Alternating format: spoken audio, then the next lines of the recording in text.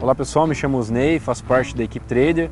O nosso site é equipetrader.com.br e hoje nós estamos aqui para falar um pouquinho de mercado, num lugar não tão comum. É, faremos também aqui ah, algumas analogias com esse esporte é, dentro do aeromodelismo. É, é um pouco novo para a gente aqui, as pessoas quase não têm acesso e é simples, como o nosso mercado, porque tem alguns comandos que sempre nos deixam no controle, podendo controlar a situação. É... Aqui eu tenho uma conexão via Wi-Fi, ele possui uma câmera e através do celular eu consigo então observar as imagens que ele está fazendo, onde é que ele está sobrevoando, como também no meu visual. Né?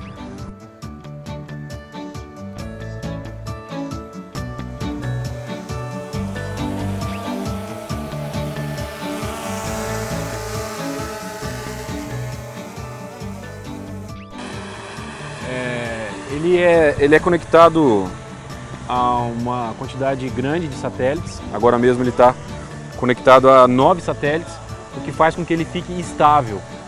É, eu não estou dando comando nenhum nele e ele está parado lá, por conta dos satélites. Eu posso também, claro, desabilitar essa opção, aí ele fica à deriva do vento, eu tenho que tomar atitude a todo momento, como está agora. Ó. Ele não para, está andando porque eu tenho que tomar uma atitude devido à falta dos satélites que faz com que ele fique estabilizado. Vou acionar novamente essa alavanca para que ele volte a se conectar com novos satélites. Agora, no caso, ele está conectado a novos satélites.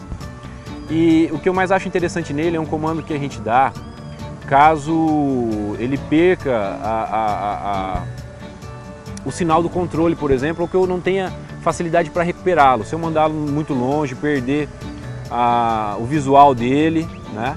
Ele tem uma opção aqui que ele volta para casa. É acionar uma alavanca aqui ou até mesmo desligar o controle, né?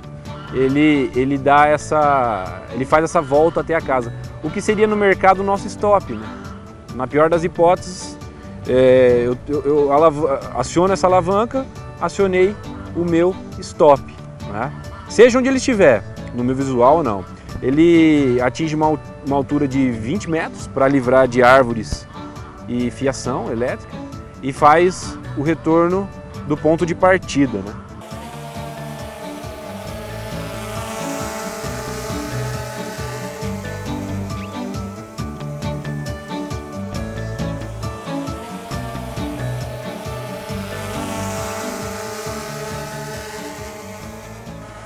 Nós gostaríamos de chamar a atenção de todos vocês exatamente para a questão de estar no controle da situação. Uh, aconteça o que acontecer, no caso aqui com o nosso drone, se mudar a direção do vento ou que ele saia do meu campo visual, apenas acionando uma chave ele volta ao ponto de partida. Isso é importante, pessoal, para que nós possamos trazer ao mercado em relação ao nosso stop. Eu sei que para muitos ah, existe uma certa dificuldade, porque o stop acaba nos trazendo um certo prejuízo, mas ele serve para minimizá-lo. Né? Isso tudo deve ser decidido antes de entrar na operação. Nós não estamos aqui à toa, nós observamos as condições do clima, árvores, fiação em volta, para que justamente o nosso voo seja o mais é, confortável, o mais bonito, o mais tranquilo possível. Isso também, claro, sempre deve ser observado antes de entrar em cada operação. Nós vamos ficando por aqui, agradeço a todos vocês pela audiência, o nosso canal no YouTube, pode se inscrever, o nosso site também, equipetrader.com.br, nos colocamos à disposição, atendimento, arroba. Um abraço a todos vocês.